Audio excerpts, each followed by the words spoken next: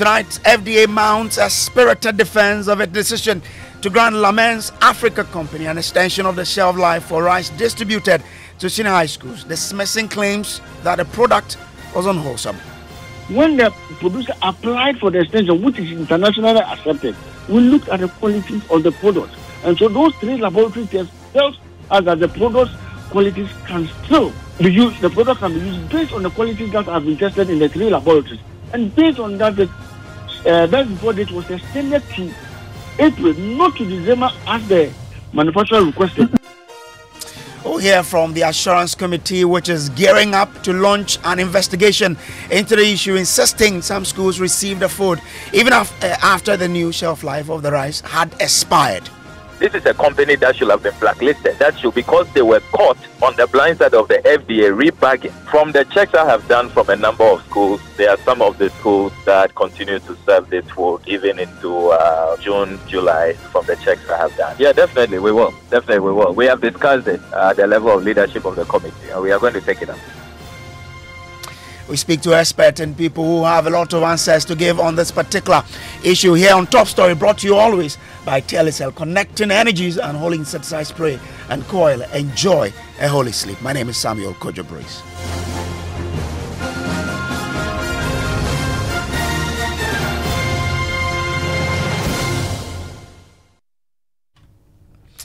Well, tonight, uh, Food and Drugs Authority is justifying its controversial decision to grant Lamens Africa Company an extension of the shelf life for rice distributed to senior high schools, dismissing claims that the product was unwholesome. The controversy, which has drawn attention from the Assurance Committee in Parliament, stems from allegations that 15,000 bags of rice were repackaged past their best before dates and distributed through the Free Senior High School Secretariat in February. Samuel Okudzeto Ablakwa, who blew the whistle on the issue, insists the rice posed a health risk to consumers. However, the FDA asserts that the shelf life extension was based on due diligence, adhering to international standards, and that the rice was deemed safe for consumption. Now, FDA's Director of Legal, Joseph Yaw Bennie, uh, uh, clarified that uh, the 100,000 cedi fine imposed on Lamens Africa Limited was due to unauthorized rebagging of rice, not its quality. He spoke to my colleague Emefa Apawu earlier on the media news. As an institution, regulated institution, would not, for any reason, jeopardize the health and safety of anybody in this country, especially children and students and school children for that matter. FDA will not shy away from handling unsafe products the way it should be handled. We have done this severally. Products, rice consignment coming from outside this country, we've dealt with them severally when they are not in good condition. We've destroyed them. Not too long ago, FDA we reported an incident in one of the northern regions in this country. A school was serving uh, products that were not fit for human consumption. We dealt with it. We stopped them from doing that. So FDA will not shy away from dealing with non-conforming products. As an institution, as a regulator, with international refuge, we will not do anything to jeopardize the health and safety of anybody in this country. Like I said, we have this information. So FDA went in with the police and realized that in a certain facility unlicensed and unknown to the FDA, someone was rebagging rice. The first thing to do was to stop that process. So what we did was, like the uh, information that was just put out, we sanctioned them on three points. One, the facility is not licensed for rebagging of rice. Two, the FDA has not given permission for that activity to be conducted. And thirdly, that process was supervised.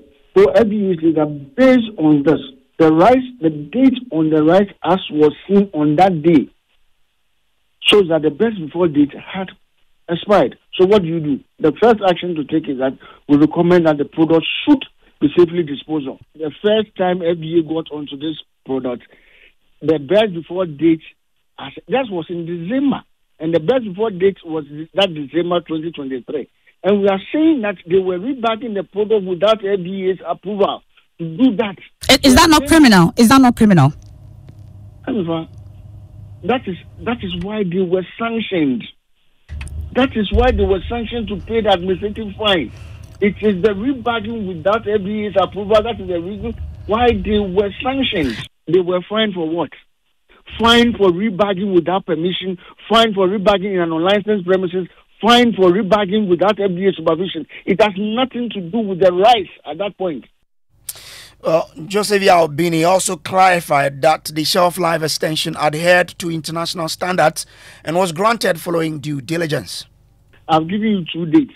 I'm saying that expiry dates means that the product safety is no longer guaranteed after that date. Mm-hmm. When you have a best before date, there are two issues. The issue of safety is not said that it is no longer safe after that. What is not good at that time is whether the qualities of the product can still be allowed. Quality in terms of taste, color, texture, etc.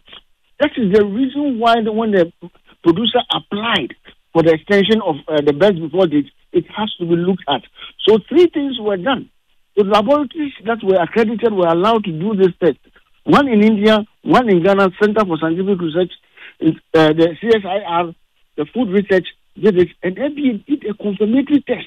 When the producer applied for the extension, which is internationally accepted, we looked at the qualities of the product. And so those three laboratory tests tell us that the product's qualities can still be used, the product can be used based on the qualities that have been tested in the three laboratories.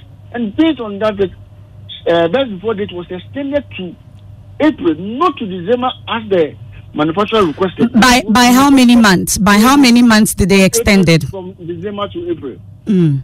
But not to the December 2024 when the what uh, the uh, producer requested for. And it was still safe. And it, it was still safe. Mm-hmm. After December 2024, mm-hmm. we need to produce further evidence on that. We can, based on the report that we had from the three labs, can extend the product's best before date to April. And that is exactly what FDA did. And it, it, it was still safe in terms of the taste, it the color, and quality safe. that you talk about? It was still safe. The issue at stake was the quality. Please, they applied for extension of the best before date, and the processes, we took them through the processes. And once they qualified to have the date extended, we did that. There are two different issues. They were doing something at the facility that is not licensed. They were doing something that was not being supervised by FDA. They were doing something that FDA has not approved. When they applied for the extension, we took them through the process. And when we were satisfied, based on international best practices, we gave them the extension up to April. We did not agree to the December extension because we requested for further information. Oh, Joseph Yaw Bennie is the FDA's director of legal. Now, we've also been hearing from the board of the Buffer Stock Company. Henry Nana Boakye uh, is uh, the chair of that particular board, and he says no wrong occurred. I think that the Ministry of Education has just rubbished this. I mean, just yesterday we saw it on the front page. They've rubbished it. I mean, this is mere baseless, frivolous allegations. It is not true.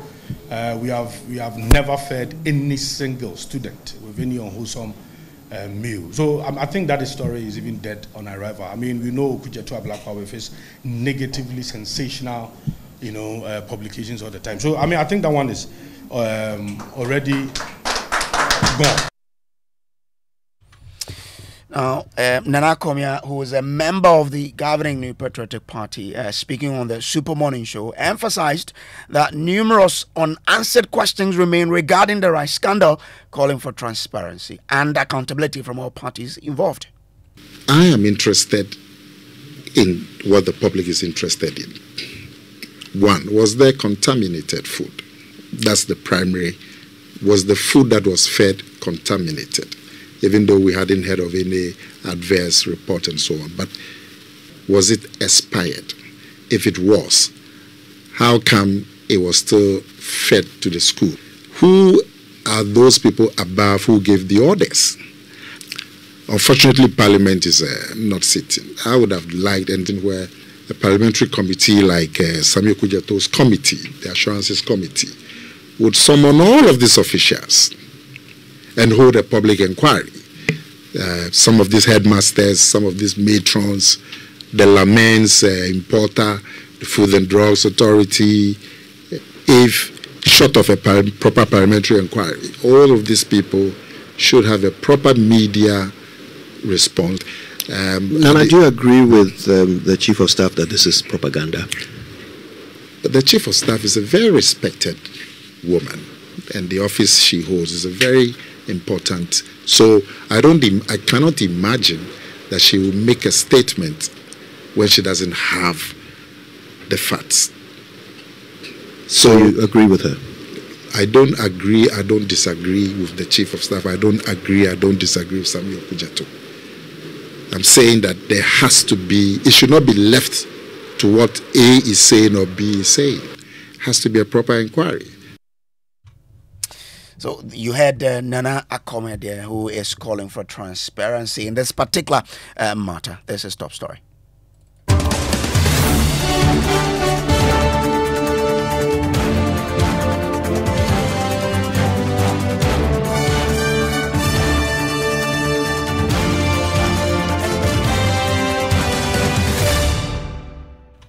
The chairman of the Assurance Committee, Samuel Okudzeto Ablakwa, joins via phone. I'm grateful to you, sir, for joining. Now, contrary to what you earlier told us, that the best uh, before date was extended to December 2024, the FDA is telling us they only approved the shelf life extension for four months, which ended in April 2024. Where did you get that information from? I've never said anywhere that there was an extension to December 2024. I, I never said that you can go through the original publication. I've, I've never said that. Uh, so please um, uh, do your checks properly. Okay. Uh, first of all, let me emphasize that the FDA response, though belated, exposes the chief of staff and the chair of the buffer stock company, whose voice you played earlier. They have sought to create the impression that all of what I have put out is untrue is baseless propaganda. You have heard the FDA Mm-hmm. uh, a lawyer confirm everything I put out. That indeed, the National Food Buffer Stock Company and Lamens, the importer, engaged in criminal conduct. They, without authorization of the FDA, on the FDA's blind side, in flagrant violation of Act 851 and LI 1541 under the cover of darkness and risking the lives of millions of senior high school students, they decided to rebag rice which had gone beyond its best before date. And you have heard the FDA confirm what I put out that Lamens admitted culpability and has been fined. Now, what the FDA has not put out is that the original roadmap for dealing with this matter contained in internal memos which I have secured from the FDA is not what they eventually implemented. What the FDA set out to do on the 29th of December was one, to make sure that the rebagging is stopped promptly, because at the time of the tip off, 15,000 bags had been rebagged into the ECOWAS bags, and the origin had been changed, remember, from uh, India to made in Ghana, which is already, uh, uh, we all agree, a violation of Act 851 and a criminal conduct. Then, the second thing they were to do, according to their roadmap, was to dispose of the rice, totally destroy the rice. Then, thirdly, they were to fine Lamens 150,000 Ghana. What the FDA must be telling Ghanaians this evening is why they did not follow their original roadmap. Who were those powers that influenced the FDA to change course? So we saw that suddenly the fine was reduced from 150,000 to 100,000. The company has paid only half and has gotten away with it. Then, two, the rice never got destroyed. And what we now know is that all the 22,000 bags of rice have been distributed. The other matters which have not been responded to by the FDA is why has the National Food Buffer Stock Company gotten away with its reckless, irresponsible conduct? Big, big, big, As we speak, as we speak, only Lamens has been fined. Remember that Lamens did not carry out this criminal rebagging in some hidden place or in Lamens's uh, uh, uh, warehouse or company. Mm-hmm. It was done at a storage facility by the National Food Buffer Stock Company, where Abdul Wahab, a CEO, and Nana Boakye is board chair. Mm-hmm. They conspired with Lamens to use their premises. Why has the National Food Buffer Stock Company not been sanctioned? When Act 851 says that you cannot run a food storage facility without licensing, it has not been licensed, it has not been registered. And so far, NAFCO has gotten away. All the officials there are at post. Well, they, well, have not, they have not been well, well, well the, then, the, then the, question, but, please, but, please but, allow me. I'll, allow I'll, me. I'll, I'll, let, I'll, let, I'll let you land. But the recommendation the FDA itself gave that was that it is strongly recommended that the operators of all such storage facilities across the country take immediate steps towards licensing their facilities as per the provisions of Section 130 of the Public Health Act 2012. Supervisors of uh, and all relevant staff operating at the food buffer stock facility should undergo training in good storage and distribution practices, and the rice may be disposed of at the end of their original shelf life. So, I mean, they didn't recommend that those facilities should be closed down. Shocking because when you read Act 851, it is clear that it is an offense to operate a food storage facility, and there are clear sanctions. It doesn't say you should just recommend some future reforms. That's not what the law says.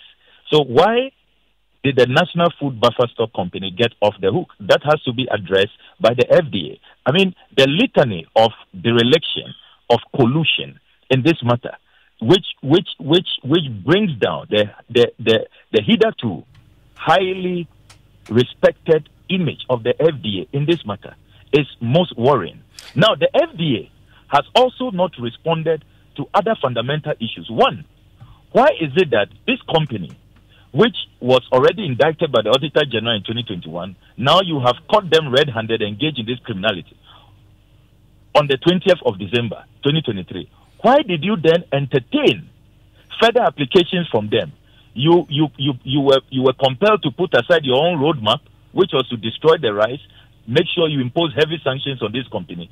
Suddenly, you cozy up to this company, mm. you, you tell them to bring applications, then you say that you've done an extension uh, to April. Now, the FDA should tell us are they the ones who authorized Lamens to reback in ECOWAS a fraudulent description. Well, that that that, back, that they have are said. They the ones, are they the ones? That if the FDA saying that it it it allowed Lamens to change the origin from India to Ghana. Well, the FDA said it allowed they, Lamens they are, they are, to, their concern, not to, not their to, concern, their concern, Sammy, is about whether it was wholesome or unwholesome they have concluded and they have re-emphasized that point today that the, the, the, the rice was wholesome for the people to eat.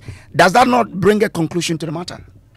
It doesn't. I take this FDA claim of wholesomeness with a pinch of salt because I have evidence which I have published dated the 6th of February, the examination results from the FDA, which stated categorically that the rice was not wholesome, that the rice had high insect infestation and has high fat acidity and that it was not wholesome. Dated 6 February 2024. That's that's an so, FD, uh, that's so, an FDA. Can, can, you share that report with me so I can also uh, you know yes, be confident with this? So then we can all be on the same level. And, and, if you talk to your colleague Emefa Apawu, I've shared it. I've shared it with her and a number of people. Kojo, Yankson, uh, Winston, and some of your colleagues have it, mm. including the the guys at, at TV, Benjamin Akaku, and the rest. I've shared it with them.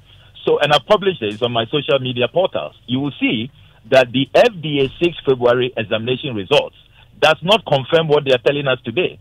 It talks about high insect infestation and high fat acidity, which medical doctors who have assessed the FDA report say that this rice should not have been consumed. So, look, I agree with Nana Akomeah, mm. and that is what I've been calling for all along. That let's have an independent inquiry into this matter. The FDA is complicit. They have questions to answer. Look, the, the, the top officials at FDA must be fired do you think that if it's me, caught, engaging in criminality, rebagging, changing the origin, and then sending this food to the schools without an expiry date, even this so-called extension, why didn't they state it on the rebag rice that it is approved to, the, to, to April 2024? so mm. that the headmasters, the matrons will know. Now, as we speak, we all know that this food, when it gets to the schools, is not consumed in a day or in a week or in a month. Uh, have vacations, they come back and continue eating this food. I mean, I have evidence talking to the heads that some of this rice was consumed way after May, after June. you know, so so you have an institution that is complicit. They didn't make sure that the rice was destroyed. They didn't stand by their original FDA examination results. They were arm twisted to change the results to allow this company, which appears untouchable, you know, to even just pay partly its fine, and, and they were not prosecuted as the law requires. There's, there's been no deterrence. I mean, so anybody can engage in criminality who sells food. We don't care about public health and safety.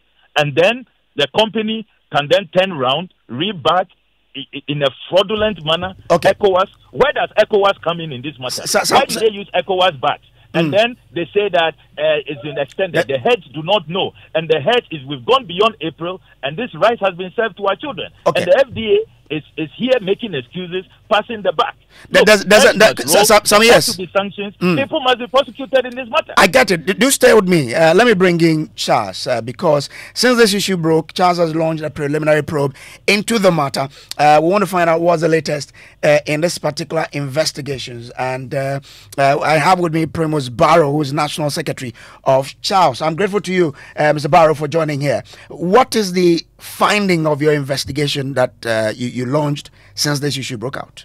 Well, um, good evening to you and your listeners. Um, um, let me just make a little bit correction. Um, I think the first time that we were engaged, uh, I'm talking about CHASS uh, through your media.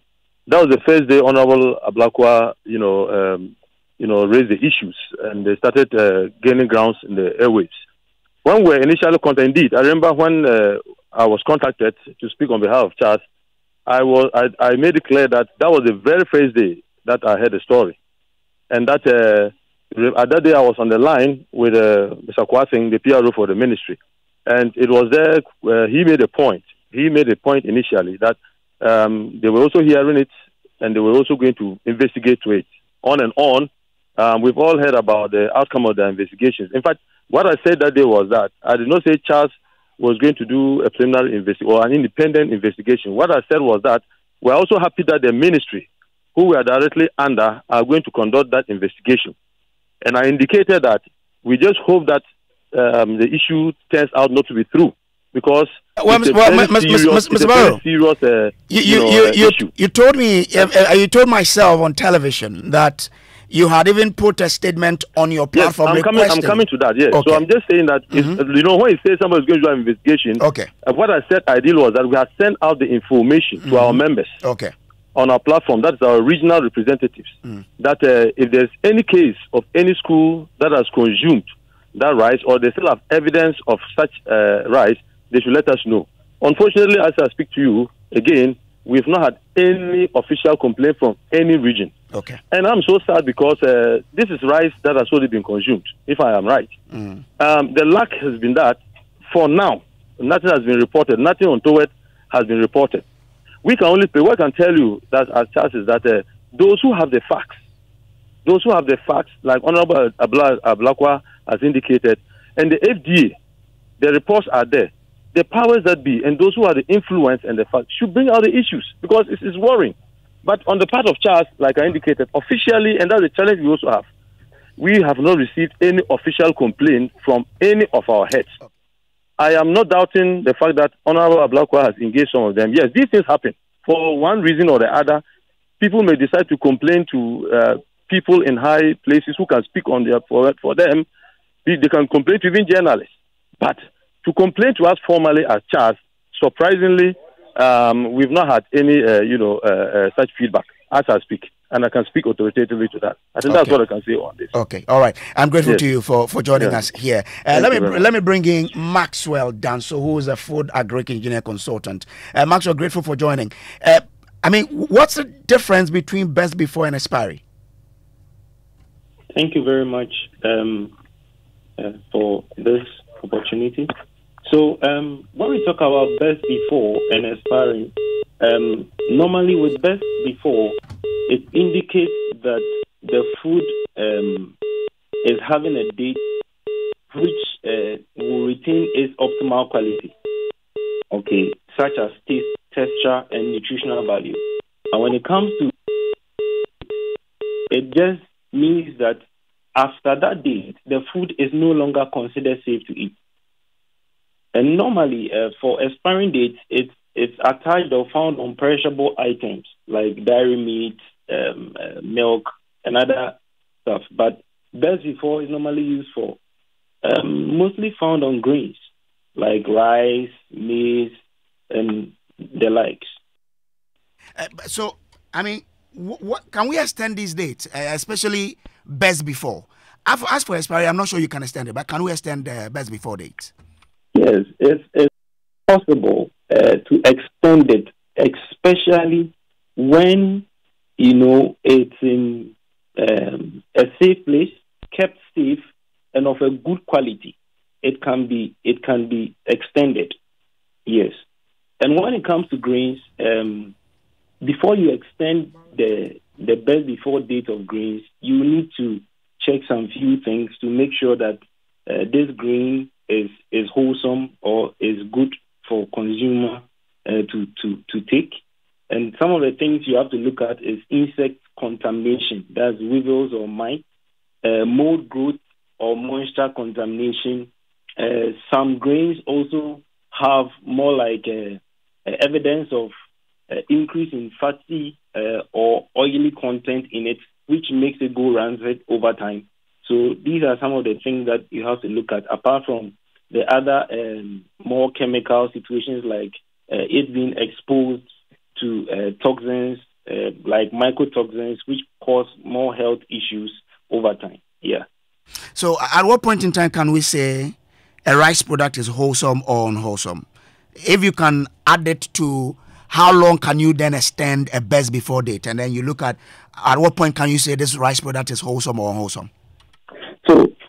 Thank you very much. So, for, for you to say a rice is wholesome, then it means that all these uh, things that I've mentioned for you to look at before extending the date need not to be there. You shouldn't find insects in it. You shouldn't find any mold growth in it. Uh, some of these things can just be seen by just looking at it it shouldn't be powdery because once insects eat it, they tend to um, uh, feed on it. You have some, some of the grains become powdery, and it's not, it's not good. It's not good for consumption. Yeah, and they can lead to food poisoning and other uh, health, you know, um, issues over time. Yeah. So, so let me ask this: If the FDA says at one point that mm. the rice does not conform to the GSA standards, can it mm. then, after a laboratory test, come out to say it was wholesome? Can that can that happen? Um, is it the same sample that they used or different sample? That's the question.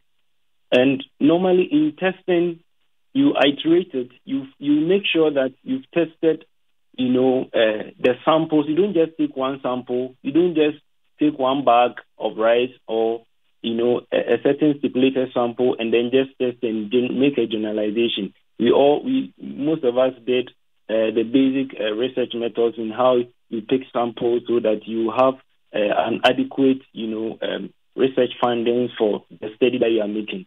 Otherwise, when you just take one thing, it will not, uh, it can't stand for all. So, uh, depending on the number of samples that were looked at, then uh, it would really ascertain that, okay, uh, this is wholesome and this is not wholesome. But what came up then suddenly, uh, there was a change, is, is, is can, can really okay. you know, raise hmm. questions. Mm. Okay. That, okay, I have uh, this to be wholesome, and then later I come and say, oh, it's not wholesome. Okay. It can raise a lot of questions. Yeah. Maxwell, I'm grateful to you. Uh, Samuel Okudzeto, so uh, will is the assurance committee taking this matter up? When can we expect that to start? And uh, we are going to uh, start looking into this uh, in the next uh, few days. Look, we paid Lamens millions of Ghana cedis. We should not be, they are not doing us a favor we should not be talking about uh, uh, extension, uh, just low quality. When other countries, you saw Michelle Obama's initiative, making sure there's high nutrition, which has a bearing on IQs for American school children. This is a global competitive era. Our children are going to compete with children in those countries. And we are here, we are talking about a state. What's so special about Lamens? Why is it that other companies will be sanctioned? Their items will be destroyed. They will be prosecuted. And Lamens gets away. And we are here, we are being told, our children, all these officials who are doing this, if their children were in senior high school, would they allow their children to eat this kind of rice? Rice that has insect infestation, that has high fat acidity. And we are here debating, oh, best before uh, expiry is just low quality, it's just reduction in nutrition, it, it, it, the insects were probably not that much. I mean, when we, we gave them a single source contract, a sweetheart deal, we are paying them millions of Ghana taxpayer funds. And this is what we get. And they've gotten away with their criminal conduct. Look, I assure the people of this country, these guys, for their callousness, their heartlessness, just because a few unscrupulous elements want to make money, they will not get away with this.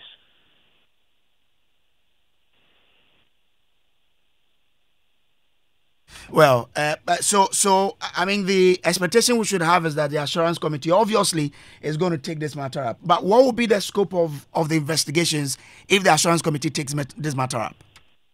We will have public hearings. You do know that our hearings are, are public.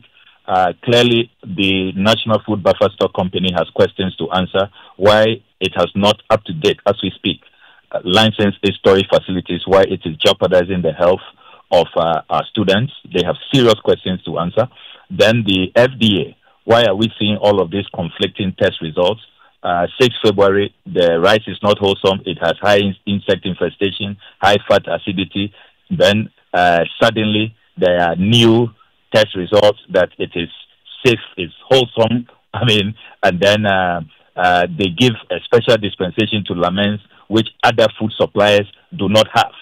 I mean, they, they go after other food suppliers, destroy their uh, their their products, sanction them, blacklist them. But Lamens is untouchable. Lamens has not even paid all the fine. The the fine for Lamens was even reduced, a slap on the wrist, an insult to all of us.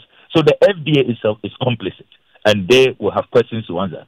Certainly, the Ministry of Education, the Ministry of Education was informed about this as far back in January. Reverend John Ntim Fordjour, who is feigning ignorance, he and the ministry, Dr. Yaw Osei Adutwum, who all knew about this and could have taken steps to stop this rise from entering our schools okay. to protect our kids placed under their care. Mm. The Free SHS Secretariat, they all have questions. And then CHASS, the heads of our secondary schools, mm. they must tell us why are they accepting food that does not have expiry dates? Mm. Why did they accept this rebagged rice, ECOWAS made in Ghana, no expiry date? And, and, and some of them tell me they were afraid. Why are you afraid? Why can't you stand up to criminals? Okay. So people have questions to answer. I'm grateful to you, Sammy Okudzeto, for uh, your time here on the top story. Now, uh, uh, would uh, move to the Joy News studio because today we're having a very important debate, uh, the manifesto debate on wash and climate change. You know how important climate change and wash have become uh, to our, our, livelihood. So today we're having that in particular interaction on the Joy News channel. We're hosting Dr. Henry Kwabena Kokofu Esquire. is a member member of the NPP's manifesto team. Professor Nana Ama Browne Klutse is also a member, uh, she is also a member of the NDC's Natural Resources Mining Science Committee, and uh, they are being hosted by Benjamin Akakpo. We'll be uh, joining them right after these. There's a business in every